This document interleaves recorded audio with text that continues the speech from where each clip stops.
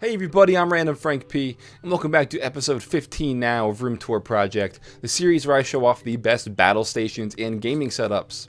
Special guest is going to be Joker Productions. He'll be showing off all his tech behind the scenes and all the gear that powers his YouTube channel. Got a lot of crazy cool setups, I think you're going to like it. And also make sure to stay tuned to the end of the video because everyone's always asking me, how do I submit my own setup to be on an episode of Room Tour Project? And I'm finally going to tell you guys, I'll make it a lot easier for you guys to submit your setup. So, got a lot of cool stuff coming. Let's kick off episode 15. Starting off now, we have a nice triple monitor display with the giant TV over top as an overhead display. I love these kind of setups, and of course having LED lights makes everything pop, makes it seem cooler, and I just feel like it makes everything more immersed when you're gaming, especially when you change the color to, you know, whatever kind of theme what you're playing around with.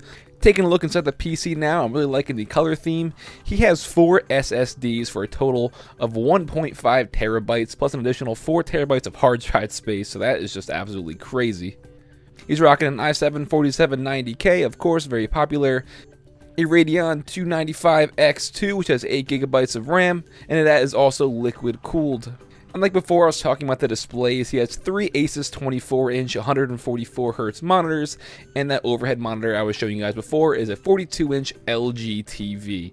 So I'm really liking his stuff here. The peripherals, he has a Razer Naga 2014 mouse, and the keyboard is a Logitech G710 Plus mechanical. Really liking this setup. Next up from Lucas, and he emailed this to me personally. He is an 18 year old modder from Sweden, and I absolutely love his design theme he has going on. White and black, key to my heart here, and look how everything is nicely set up. He's rocking three monitors, which I'll go over in a minute, a Monster 5960X, a triple 980 Ti setup, 32 gigabytes of DDR4 RAM. Everything is just crazy on point here.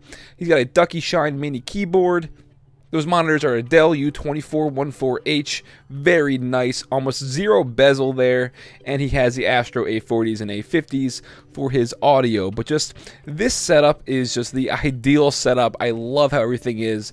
Everything looks very clean. Just look at that PC case. Look how he modded that to make it look awesome.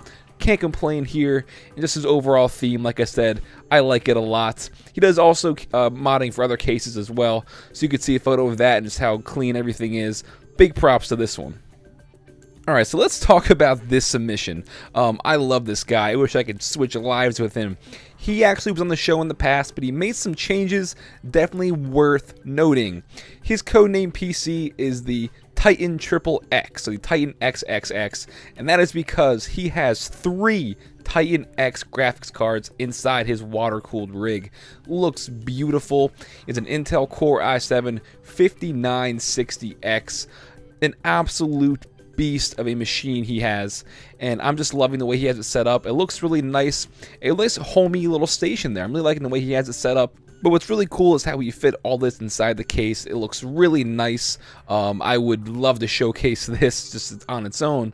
Uh, but something else I want to show off is his entire entertainment setup, or his theater, his home theater he has in his house. Not too sure the size of that screen, but it is absolutely massive. Great for playing games, like as you can see, playing The Last of Us, watching uh, Iron Man. Just a great entertainment setup with that huge display. Um, I am so jealous, but I love having this guy on because he always sets the bar. And having a little home theater in your house with his entire battle station, it's just, it's jaw dropping. I love this guy, and I will always include his setup every time he makes a new addition because it's always something that's going to blow your mind. I want to show this setup off pretty quickly, but it is awesome. This is actually on the front page of the gaming subreddit, and rightfully so. This is in his bedroom. Must be nice to hang out, relax on the bed, and have this huge projector screen having displaying whatever you want. I'm not sure the size of it. It definitely looks over 100 inches, but it is really nice. And the great thing is, that's not the only noteworthy part. He also has his own battle station with three monitors. He has the one monitor in the middle as the usual typical display, and two monitors on the side. And it's great because it's like a little flight sim for him. I like the way he has it set up. Uh, really cool. I'm not too sure on the specs really, but I really wanted to show it off because it's something different, and I love bedroom setups like this with massive displays. So as I mentioned, I really like triple monitor displays because this emission, I can't even attempt to say that name, is absolutely flawless in every single way. Even looking at the cable management, it is very, very well neatly organized with the red LED lights in the back of the monitors to complement his red and black setup. Again, I don't really have much of these specs on this, I wish I did, but that is staying true to the black and red setup inside his PC, two graphics cards, the red cables, everything looks absolutely nice. But I am just loving everything about this. He's got the Corsair Gaming K70, I believe, uh, keyboard with the Corsair Vengeance uh, M65 mouse, again, black and red, the black and red uh, speakers, the Asus ROG monitors. I am just in love. And of course, LED lights makes everything better. I'm always going to say that because it's true. But just props for having a crazy clean setup and I'm just, I get jealous every time I look at these photos. These are goals, guys. Goals right here. And lastly, you guys know I love showing off personal setups or homemade setups. If you can make your own gaming desk, big, big shout out because that is very awesome. As you can see, this guy started designing it all the way from the beginning with a CAD design, uh, started making his gaming desk by hand, and it came out absolutely beautifully. I don't have the specs or anything like that to show off the actual tech and the gear he has, but I really wanted to show off his just overall desk because he made this himself, he, he thought of it, and he went out and made it. So I love setups like this, uh, and I really just appreciate that they can actually create their design. Hey, what's up guys? Joker here, and thank you to Frank for having me here on his Battle Station and Setup Tour project. Really, really honored to be here. Been watching the show ever since the beginning, and I'm going to be taking you guys on a walkthrough today of my YouTube studio and gaming setup that I use over on my channel, Joker Productions, which is a PC gaming and computer hardware technology channel. So without further ado, let's go ahead now and jump in and take a look at my setup. So let's start things off with the desk. I just recently upgraded to this new desk to get something that matches the channel a little bit better and to give me a better workspace and filming area as the white desktop does show up a lot better on film when I'm making my videos. And I also like having the black drawers and legs underneath. It gives it a nice accent, I feel, and also goes with matching my channel's aesthetic, which is black and white, just like Frank's. So moving up on top of the desk on the right side, I've got some of my collectibles over here, some Joker figures that people have given me over the years, as well as a bust that was a gift from my father, and my Max Payne 3 Collector's Edition statue.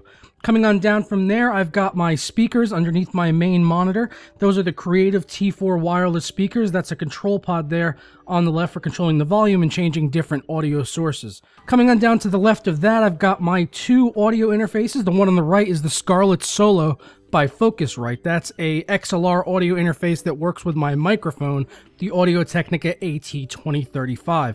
This is essentially a preamp and power source for the microphone as it does require 48 volts of phantom power. To the left of that is my Objective 2 amplifier and ODAC from Mayflower Electronics. One of the best DACs I've ever tested and awesome amplifier. Can't recommend this thing enough. As far as my desktop peripherals are concerned, I have an AULA Wings of Liberty keyboard that I was sent to review recently. It uses blue mechanical switches. Decided to keep using it because I like the tactile feedback of the mechanical switches in this keyboard and it matches the desk really, really nice. I think it brings the theme together really well. My mouse is a Razer Mamba 2012 edition, Old Faithful. It's just been around for a long time now, and I'm not going to get rid of the thing until it really breaks because it's just, it's really my mouse. It's like an extension of my arm. My monitors, as far as the secondary display is concerned, it's an Asus VG248QE. That's a 2560 by 1080 144 Hertz with 1 millisecond response time panel. I do have G-Sync installed in this monitor that I put in there myself during the limited amount of time when they were allowing users to buy the G-Sync kits by themselves and then install them in their VG248QEs. My main display is also a G-Sync monitor. It's the newly released Acer XB270HU. It's also 144 Hz, but this one is 27 inches and 2560 by 1440. The panel on it is also IPS as opposed to the VG248QE, which is a TN panel. So it's going to give me that better color reproduction for when I'm editing videos and doing color corrections, things like that. And games are going to run silky smooth with that 144 hertz refresh rate. Moving over to my PC now, my case is the Fractal Design Define R5, which I picked up for its amazing, simple black aesthetic and for its ability to really be able to block out the excess noise of the PC so that my microphone is not picking that up when I'm recording videos or doing Twitch streams. My motherboard is the Asus X99A, and the CPU in there is the Intel i7 5820K 6-core beast with 12 threads. I've got that overclocked to 4.6 gigahertz at 1.25 volts. My memory on here is 16 gigabytes of Corsair Vengeance clocked at 2666 megahertz, but I have gone ahead and manually overclocked that and have had it stable since I built this PC back in March at 3000 megahertz. My graphics cards in here are a pair of GTX 980 Ti's with 6 gigabytes of VRAM on each card, which is still just 6 gigabytes effectively, but they are just absolutely beasts using that GM200 processor. Uh, moving down from there, my power supply is an EVGA 1300 watt G2, which I picked up because it was you know, one of the best power supplies out there, but also it was only $5 more than the 1000 watts, so I just went with the 1300 watt. Why not?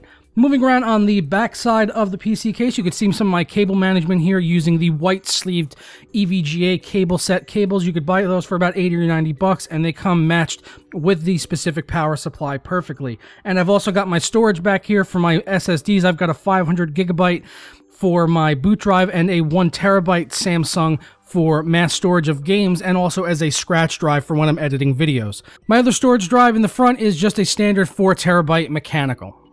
As far as my camera is concerned, I use a Canon 700D or T5i as it's known here in the States. I use that in combination with the kit lens that comes along with the camera, as well as a 50mm 1.8 lens. That's what I use primarily in my videos as I do a lot of portrait shots of me sitting in front of my PC and I like to get that nice bokeh effect in the background. Alright guys, that's going to wrap up episode 15 now of Room Tour Project. Hope you all enjoyed, and big thank you to Joker for Productions for showing off your setup and all the gear behind the scenes which powers your YouTube channel.